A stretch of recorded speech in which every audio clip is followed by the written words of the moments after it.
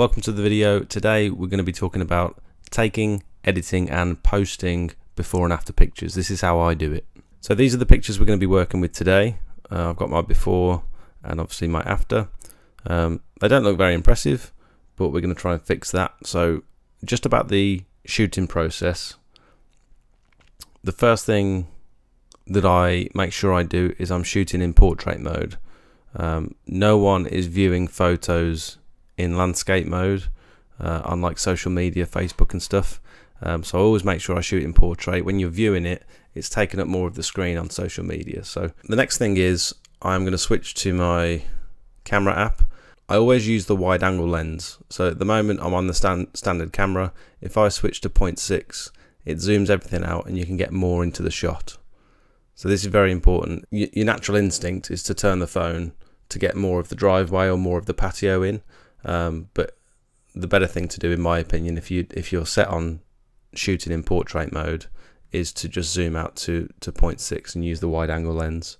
Um, most Android or uh, Apple phones can do this, no problem. Uh, the next thing I'm, I'm going to do is try and make sure I frame the both the pictures very similarly. So you can see at the top of the picture here, I'm just cutting, I'm just using the roof line as a guide for both pictures. Um, and I try and stand in the same spot. So try and sort of line the top of the frame up with maybe like a windowsill or or the roof, or try and do it as perfect as possible for both both pictures. It's just going to make it look so much better. So the other thing, uh, I wouldn't, I try and avoid taking the photo in like extreme sunlight because it can really, um, it can really mess up the photo. So I'll try and give you an example here. I had to do one the other day just because I was in a rush. I didn't I didn't want to uh, hang around, but you can see this before and after. Um, the the lights come over. There's obviously nothing you can do about it, but it's just uh, it, it doesn't make for the picture just doesn't look as good when when the sun's shining directly on it. But again, there's not a lot you can do about that.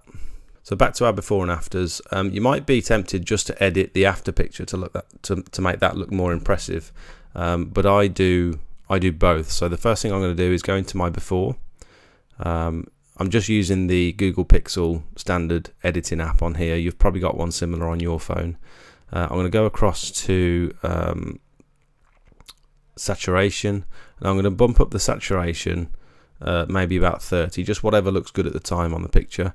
Um, I'm focusing on all the green foliage around the sides because people can really tell um, when the photo has been heavily edited by looking at the green and also looking at the bricks on the houses. So I think um, around about I'm going to do about 30 and the only reason I'm doing this is so that it doesn't look out of place when you put the after picture next to it when you've bumped up the saturation on the after picture um, because you want to make the bricks look more intense and vibrant. Um, they're going to compare it to the old one and think oh the bushes look totally different on that one. So um, that's the only reason I'm doing it on this one. I'm then going to go across to pop and I'm going to increase the pop and you can see see how dirty it makes that driveway look um, you obviously don't want to do it too extreme, but you can play around with this. Um, so I'm going to put the pop up to around about 35. You can really see all the black spots. It just looks a lot grittier and grimier. So that's all I do for the before picture. I'm going to save that one. And then we're going to go across to the after picture. And this is where we're going to start to see a huge difference. So again, we'll go across to adjust and we're going to bump up the saturation on this one.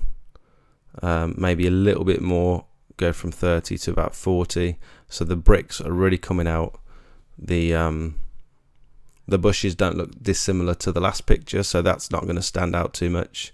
And I'm just going to hold it down you can see before after before after.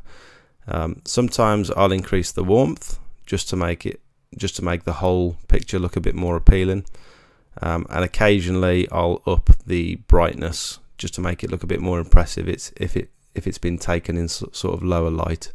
Um, but I don't need to do that on this one. I'm going to keep the brightness where it is. And that's it. I'm going to save that one.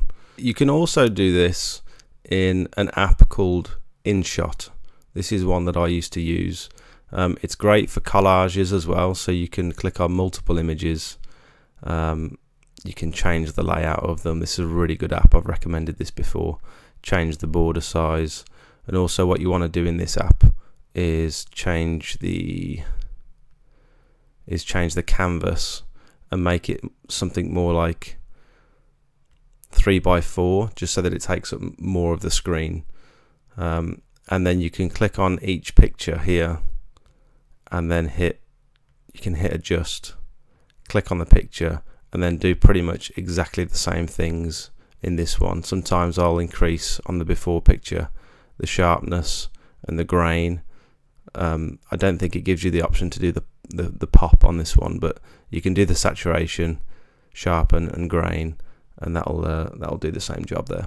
Really good app. Then when it comes to actually posting the picture I think it's very important based on my experience of scrolling through Facebook and seeing sponsored posts where people have paid money to boost their posts. Um, you see a lot of before pictures and you don't actually see the after picture on the banner, on the sponsored banner. You've got three pictures and then it says like plus seven where you have to click on it and then scroll to the bottom to see the afters. Um, you want it to be as upfront as possible, especially if you're paying to boost these posts. So when you're uploading multiple images, you want to do before, after, before, after, before, after. So you get that instant sort of hit of dopamine. Um, I'll do like a little description here. Some I used to put things like, um, say for example, this is Bromsgrove. Um, I I used to put stuff like that, and it didn't grab as much attention. I could see the engagement at the bottom of the post. Um, and I've found that if you put like a little backstory behind it instead, um, it grabs a lot more people and you get more clicks on your post. So if you put something like um, this driveway hasn't been cleaned for over 10 years or, or whatever, and actually make sure it's true because as you just lying then, or um, uh, this one was a tough one in this sort of heat, or I had to use uh, very strong chemicals to pull up the black spots on this one, but it came out well. Customers happy put like a, a short, just just something to make it the post look more interesting. And then uh, before I post that, I'm going to click on the three dots in the bottom right hand corner, and I've linked this to my WhatsApp account. I've got a WhatsApp business account. I think you can do it with a standard account as well. Um, but at the bottom there it says get WhatsApp messages. So I'm going to click on that, and then that puts the little banner across the bottom. So anyone new seeing this post, especially if you're going to boost it, or if anyone is visiting your page and you've shared it to, to maybe one of your family members and they've shared it, they're going to instantly get that um, WhatsApp banner that's going to create a template for them to send you a text. I've had so much work doing this. The way the text comes through, it says on there, I saw this post on Facebook, and then it's got like their question or their contact details underneath. So it's like a template for them you can see where your interest is coming from. You can see which posts have done well to actually get you leads. It's I think it's a really clever integration. It's really good. And Facebook have just updated their business pages as well, so it's it's just a lot better generally all round. And that's all I do. That's just a few tips. Um, I do this to every single one of my jobs, and it's very successful. If you have a look on my page on on Facebook, it's called Smout's Pressure Washing. Um, you can just get a bit of inspiration if you want to read through and, and have a look at the pictures or whatever. Um, hope it helps. Enjoy the rest of your day. See you later.